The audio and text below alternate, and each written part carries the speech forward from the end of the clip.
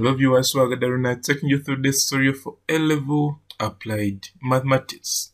And this video, we are going to go through the marking guide for Senior 5 Math Part 2 mid, to, mid of Term 2 for the year 2024.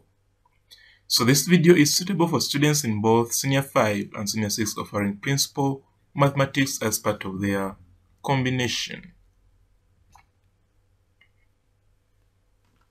So this paper, it had six questions and the student was supposed to attempt any five. But since this is revision, we shall attempt all the six questions. So let's begin with question one. Question one came from scatter graphs and correlation. It says, nine voters in Jinja and Kampala were asked to give the government a score of out of a hundred on each of the nine issues. The results were, were shown in the table below. So these are the voters, okay, these are the issues for the nine voters, and these are their scores.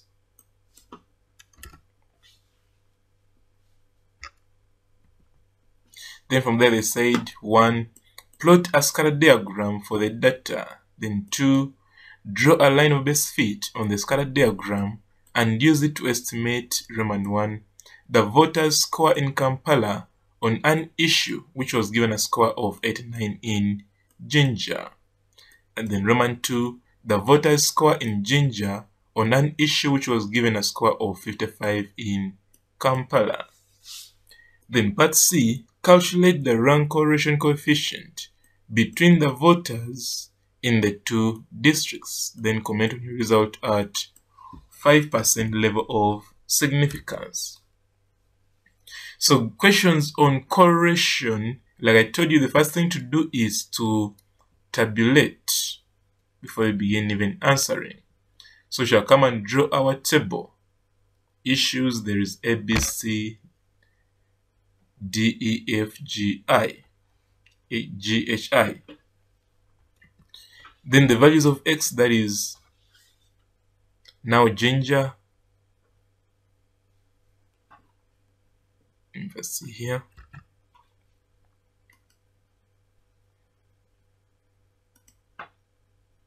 Yeah x is Jinja, y is kampala.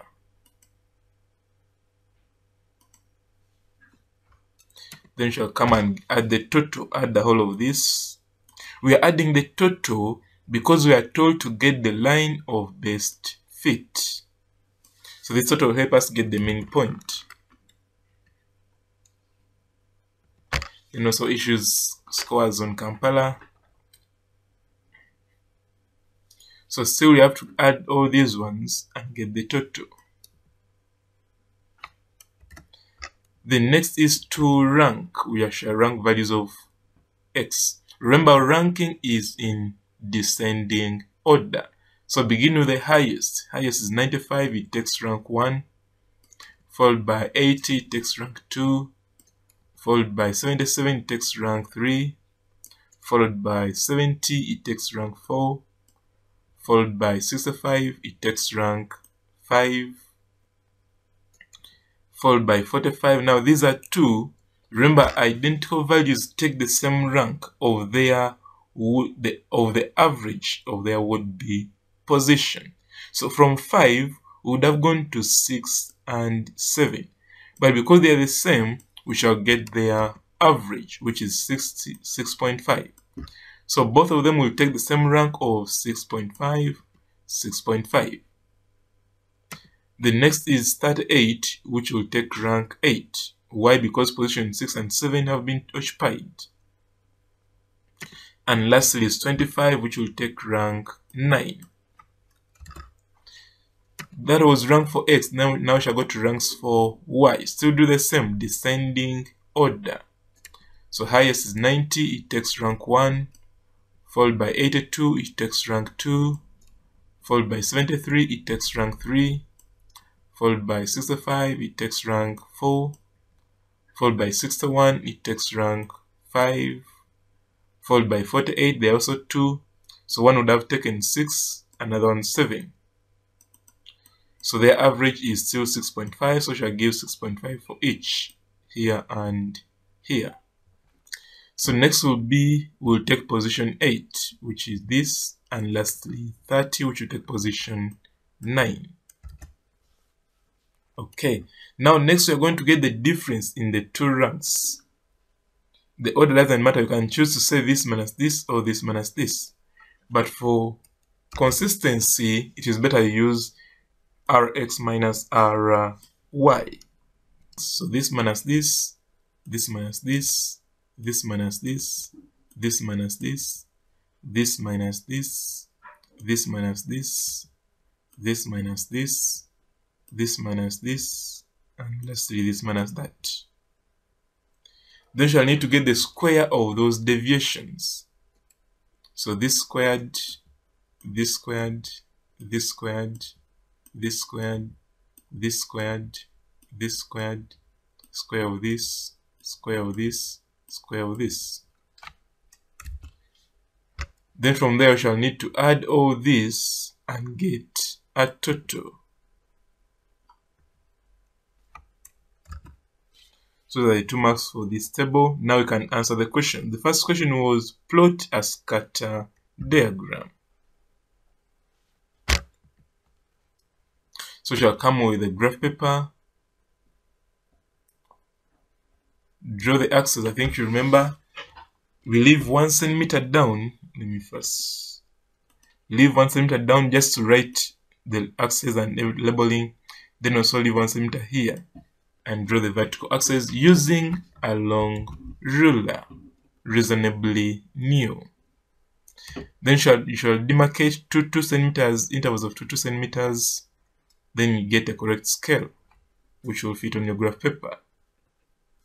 Do the same for the vertical, to 2 centimeters, and get a, a suitable scale. I want you to note that even though here they are starting with the same value, each axis must have its own starting point. Then labeling, we don't say x, y. We have to put what was given in the question. Okay, now we've done that, next will be now to plot. 45 with 73, it is there. 38 with 82, it is here.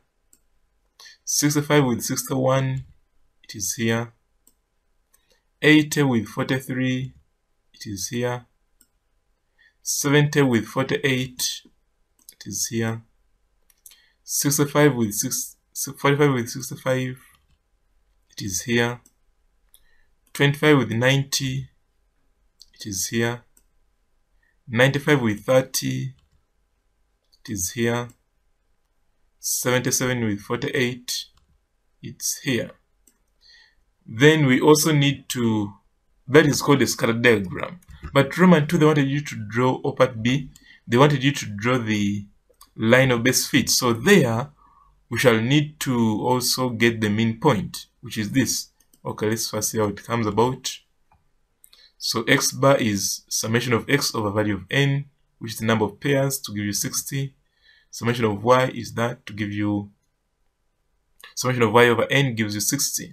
So that means that the mean point will be 60, 60. Therefore, you shall come and also plot it, 60, 60, which is there. To distinguish it from the race, we put capital M to mean mean point. Then the rules for drawing line of best fit your line of best fit must fulfill the three conditions. The first condition is that it must pass through the mean point. Two, it must pass through any other one or more points, any. Then three, it must leave equal or almost equal points on either side. So let me draw this line and we analyze whether the, all the three conditions have been met. One, this line has gone through the mean point. That's condition 1 fulfilled. It has gone through any other one or more. Actually, they are 1, 2, 3, 4. It has gone through 4 points. So that is condition 2 fulfilled. Then 3, it must leave equal or almost equal points on either side. Let's look at this side. This side there is 1, 2. 2 points on that side. This side there is one two three So that's what they mean by almost equal. So almost equal means a difference of 1. 3 minus 2 is 1. So all the three conditions have been met, meaning that your line of best fit is now correct. Then can go the next part.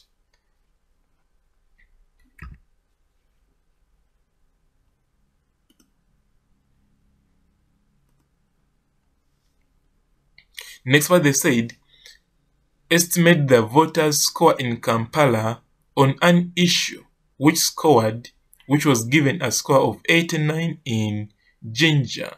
So come here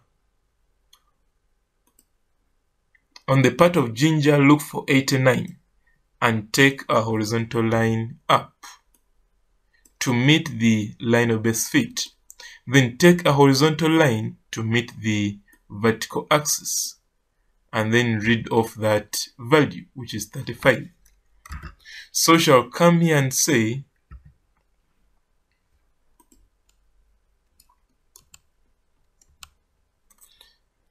that the voters score in Kampala on an issue which was given a score of 89 in Jinja will be 35.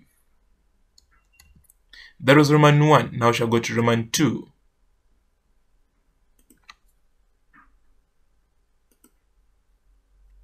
Roman 2, they want the voter score in Jinja on an issue which was given a score of 55 in Kampala. So just still go back to our graph and look for 55 on the part of Kampala. Take a horizontal line to meet the line of best fit. Drop to meet the horizontal axis. Then read off that value to 66. So come here and say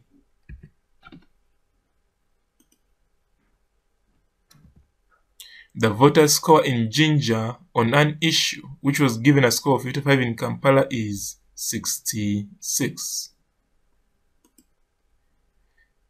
That was part A. What about part B? Part B, we have the, it's, okay, part C, Calculate the rank correlation coefficient between the voters in the two districts and comment on your result at 5% level of significance. So rank correlation, we need the summation of d squared, which is 237. So done with this graph work, we can give allocate its marks.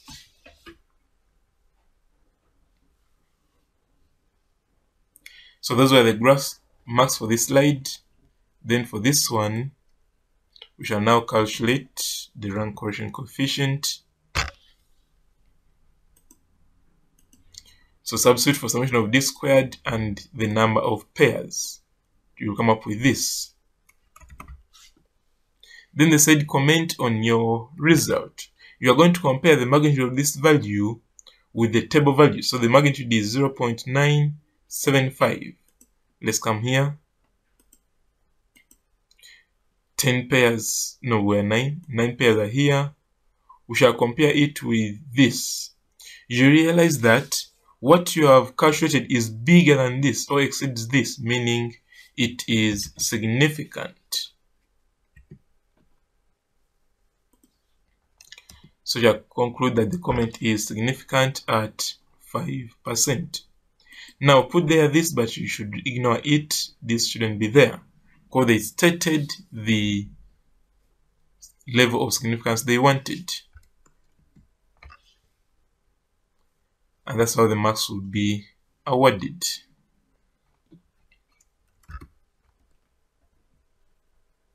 That was question one. Now we shall go to question two. Question two says, part A, the taxi charges over distances of 5 and 10 kilometers from town Chu, the, the charges are 2,800 shillings and 5,800 shillings respectively. Okay. Estimate, Roman 1, the distance from Chu worth shillings 5,300. Okay. Roman 2, the travel refund when a ticket of 8 kilometers is cancelled to 5 kilometers. I think let's first begin with that. That is interpolation. So we shall come and extract out the values we want. The distance taxi charges 4 costs 2800 that is what is unknown and the charge is 5300 then 10 kilometers 5800 so shall use interpolation by equating the quotients this minus this over this minus this to give you this part okay this minus this over this minus this to give you this part the next is to simplify and make x the subject and that's what they wanted then Roman 2, there are two distances. One is 5, the other one is 8. So both 5 and 8 are enclosed between 4 and 10. So in distance is 5, we don't know the charge. We shall look for it. So I'll repeat the procedure, equate quotients. This minus this over this minus this to give you this part this minus this over this minus this to give you this part. Then next is simplify and make y the subject. That was for a distance of 5 kilometers. What about for 8 kilometers? Let's first see marks for the slide.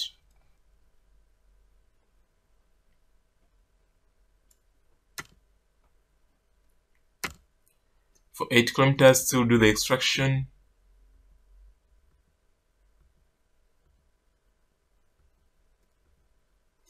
then equate quotients. This minus this over this minus this to give you this part. This minus this over this minus this to give you this part. Simplify and make y to the subject. So the refund was supposed to be the difference in the required transports, which will be shillings 1,500. Then part that was part A. Now part B.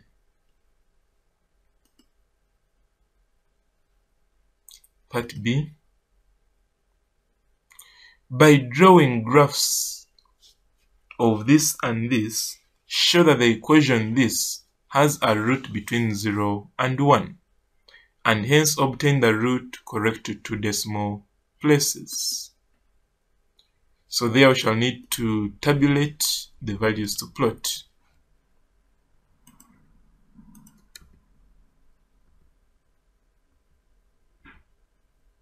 So when x is 0, this is 1, and this is 1. Now, now remember that this is a straight line, you only need the extreme points. So when x is 0 0.2, this will be that, two decimal places. When x is 0 0.4, when x is 0 0.6, when x is 0 0.8, and when x is 1, and also this is 6. So this straight line you only need the extreme points. For the curve you need more than intermediate points or so.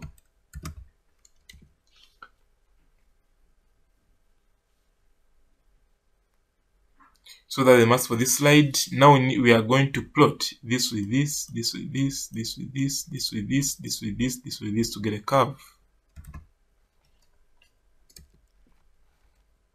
that means we need the graph paper and follow the same rules leave one centimeter down and draw a horizontal axis one centimeter up and leave a draw a vertical axis now here we call them y-axis x-axis y-axis then use intervals of 2 2 centimeters to get a correct scale.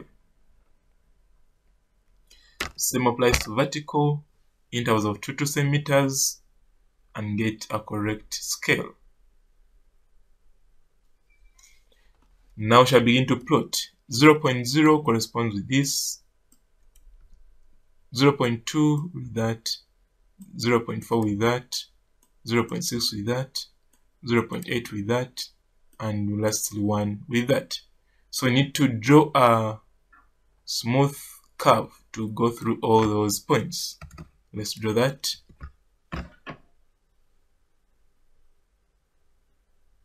Then we need to label it Then also the line y equal to 5x plus 1. We need, it was this and this, so we shall use a ruler and join the two points. So I want you to realize that we are not exceeding that point or going before that point. Always remember that. Though it is a straight line, don't exceed the given range. The interval was 0 and 1. Then this intersection is our root, so we shall draw perpendicular to meet the vertical horizontal axis and read off that value. So that will be the root to two decimal places which they wanted. Okay, so that was question 2. Now we shall go to question 3. Question 3 says, a string with one end attached to a 4 kilogram mass passes over a fixed pulley and carries a light pulley at its other end. Over a light pulley passes another string carrying masses of 1000 grams and 3000 grams. Determine part A uh, the acceleration of each mass on the light pulley. Then part B the tension in the strings. So we shall need to make a sketch of what is given. So we have a fixed point, then there's a fixed pulley, there's a string, one side has 4 kilogram mass, the other side has a movable pulley. Then on the side with the movable pulley, there is also a string. One side has 3000 kilogram, 3000 grams, and the other side has 1000 grams. Okay, that is it. Next is to now draw, show the forces. We shall begin with the weight. We know that weight always acts vertically downwards. So weight for this, it will be 1g.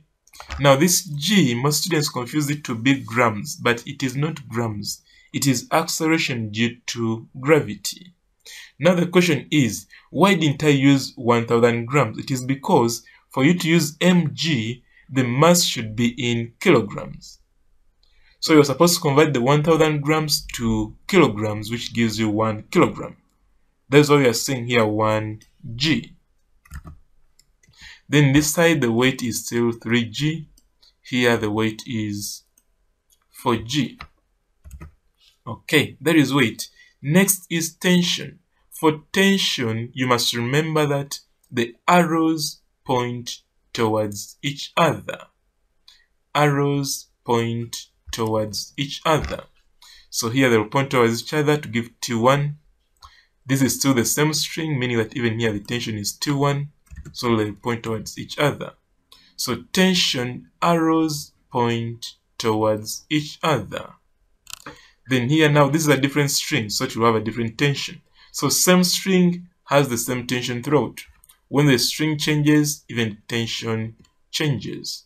So come here, draw arrows pointing towards each other, put another tension T2, but this is also still the same string, so same tension T2. Now acceleration. How do you know the which part go, goes down and which part goes up? So this GIF can help you to know how the motion is. But why is it so? One, you are going to add this plus this gives you 4 kilograms. The plus actually the whole of this the reason why we are using 4 because they didn't give us the weight of this. They even called it a light pulley, meaning its mass is negligible. But if it was not, you are supposed to add it there. And even here, we were supposed to put its weight. Okay, now compare these 4 kilograms with these 4 kilograms. Which will go down? Of course, there is equilibrium. Do you see that? Because they are all the same. So in that case, whatever direction you choose to pull the other is okay. But since this one has more masses, let us take this to go up and this to go down. That is why you are seeing here, this is going up and this is going down. So you come and put those accelerations. Here to go down and be A1 here to go up. Okay. Then for these ones, there are some of funny. Do you know how funny they are? Let me show you how funny they are. One, if this is, you look at this, these ones are going down, but also this is going down. How will it affect? So this is heavier than this. So this will go down and this will go up. Let's say an acceleration of A2 and here A2 also. But that A2 is not the only acceleration. Reason being, this pulley is also moving down. So what we do, we get the resultant. If this is downward with, so this was up, okay? This was up and this was down with an acceleration of A2. So the resultant means for this one down, down, it will be addition. Down, up, it will be subtraction. So here down, down, will be addition, A2 plus A1. Here down, up, it will be subtraction. So it will be A2 minus A1. Okay, so when that is done, you can now go to the calculations. Considering the 4 kilogram mass, this one we shall use these forces. So T1 minus 4G is equal to 4A. Then for the pulley, movable pulley, movable pulley, we consider these forces from here up to here. It is going down and meaning 2T2 is minus T1 is equal to 0. 0 because the mass is negligible. Then for the 3 kilogram mass, okay, the 3000 grams, we shall need these forces. It is going down, so it will be 3g minus t2 is equal to 3 times this acceleration.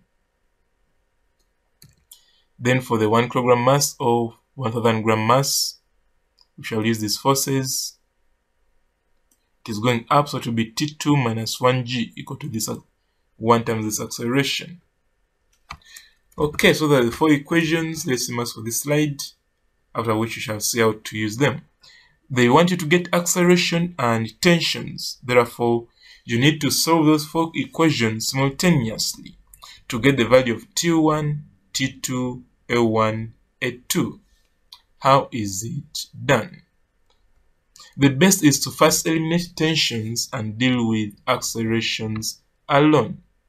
So equation 3 plus equation 1 we shall come up with this so reduce to give you that then equation 1 plus equation 2 when we add the 2 we shall come up with this then equation 3 multiplied by 2 plus equation 6 this is what we shall come up with we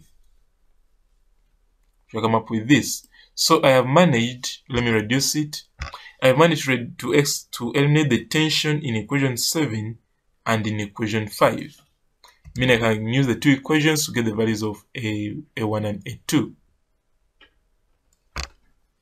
So in this, I'll, I'll eliminate a1, this minus this is 4, this minus this is 7, meaning that a2 will be that.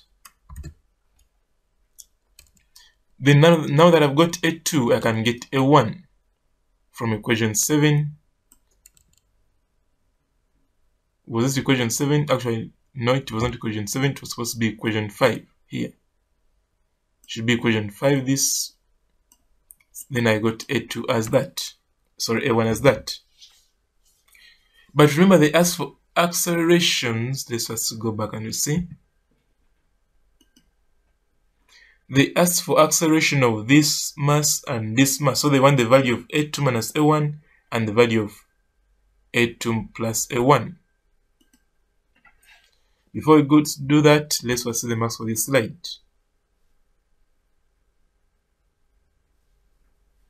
Okay. So now A2 minus A1 is that, meaning that the acceleration of the 1000 gram mass is this upward. Acceleration is a vector quantity, so we need to show the direction. For this, acceleration is that, and it is also, it is now downward. Then part B, they wanted tensions. So from equation 1, I can substitute for A1 and get the value of T1. Then from equation 2, I substitute for A2 and get equation, sorry, equation 2 I substitute for T1 to get the value of tension T2. And that's what they wanted.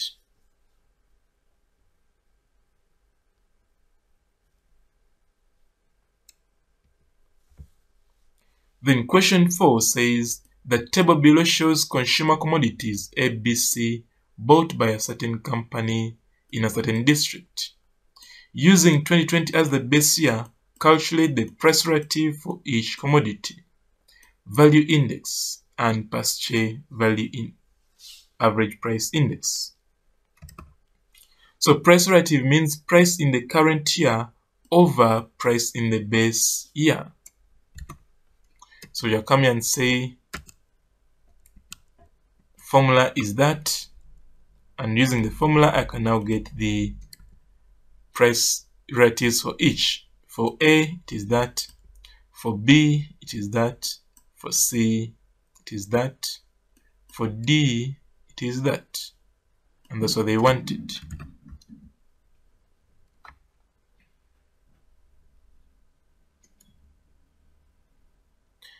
Then Roman 2 they wanted value index. Value index we use both current and base quantities. So summation of PC, PC means price on current year which is 2024. QC means quantity in the current year which is 2024. So multiply the two and then sum all to get the output which is that. Then also use PB and P2B. PB means price in the base year which is 2020. QB means quantity in the base year which is 2020. So multiply and add everything to get the output. Then you can now code the formula for value index and substitute then get the output and that's what they wanted. Then Roman 3 was Paasche average price index. For Paasche we use only the quantity in the current year. So multiply this this squared times 2 over pb for each and get the output which is that. Therefore Paasche average price index is given by this formula. So, so, the good thing this one you already got it in roman 2 so that's why you are not seeing any of its substitution of its manipulation. So you just substitute this, we have calculated this we got in the previous, in Roman 2. So you come up with this as the value of Paasche average price index.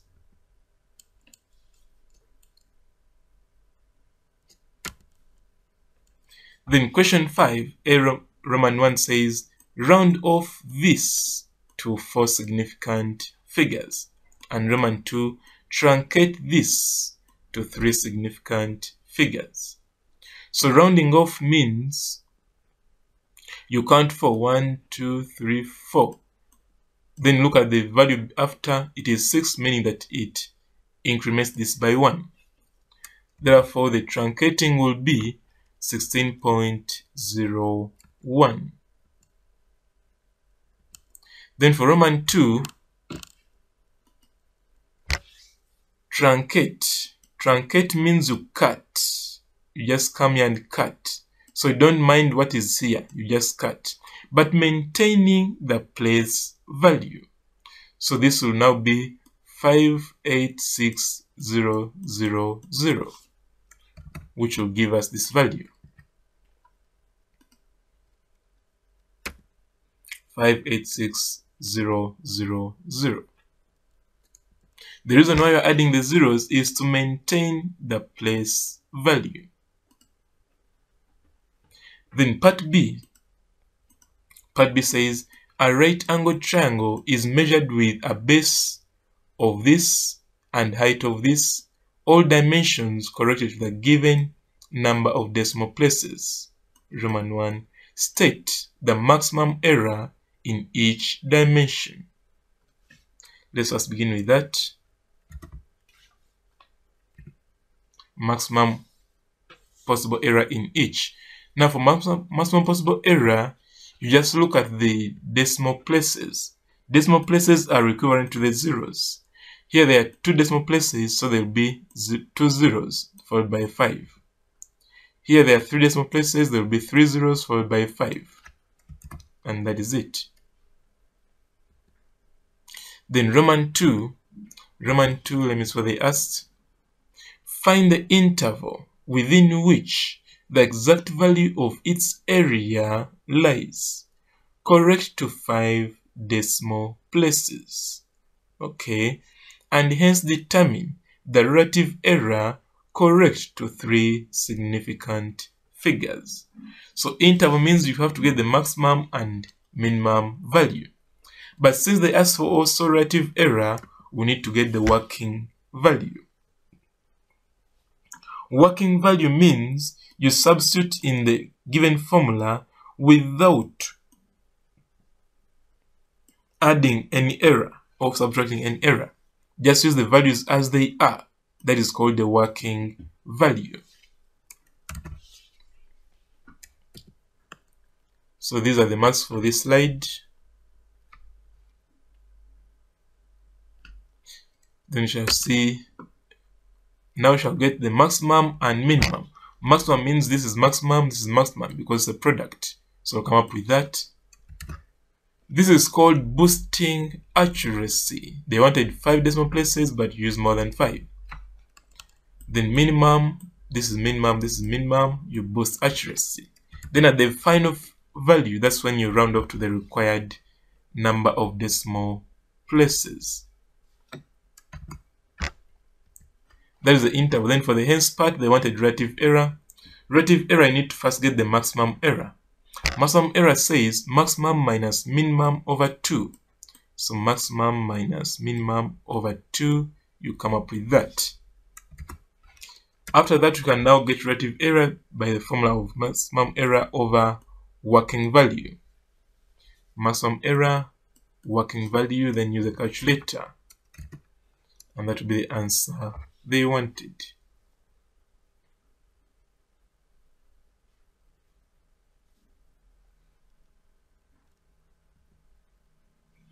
Then question 6 says a particle is projected vertically upwards with a velocity of 28 meters per second. After 2 seconds, another particle is projected vertically upwards from the same point of projection and with an initial velocity of this. Find when the particles are at the same height from the point of projection. When means time and the velocity of each body at that instant.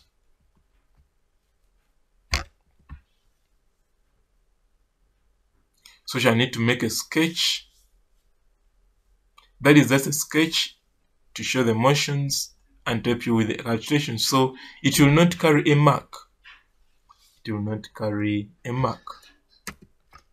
So for the first particle, that is motion ABC, we have initial velocity, we have the height is, displacement is h, time is t, velocity we don't know it. So using the second equation of motion, substitute and get equation 1. So here the first mark was to identify the time. Remember that they are thrown at different times. You see this after 2 seconds. So you need to know that this one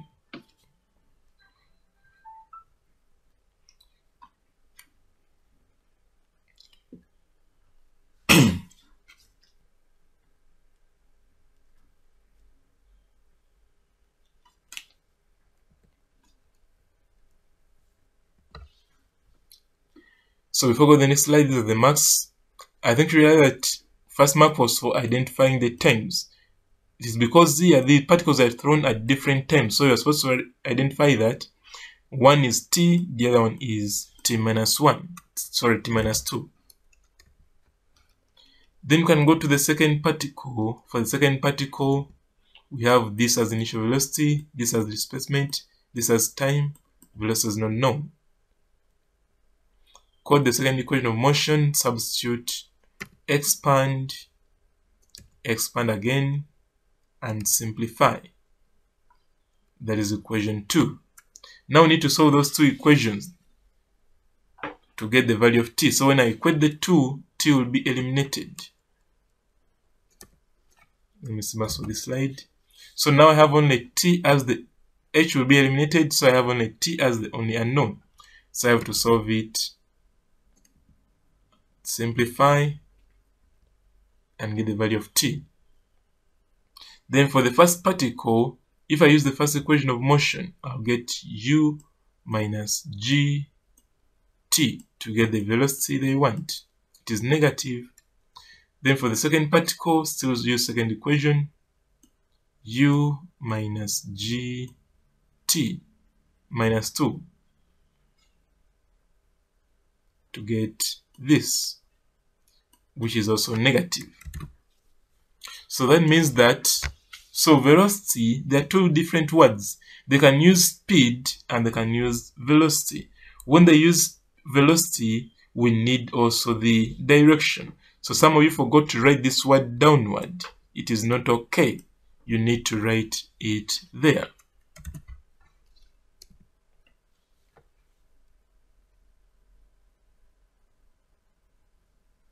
And that is what they wanted.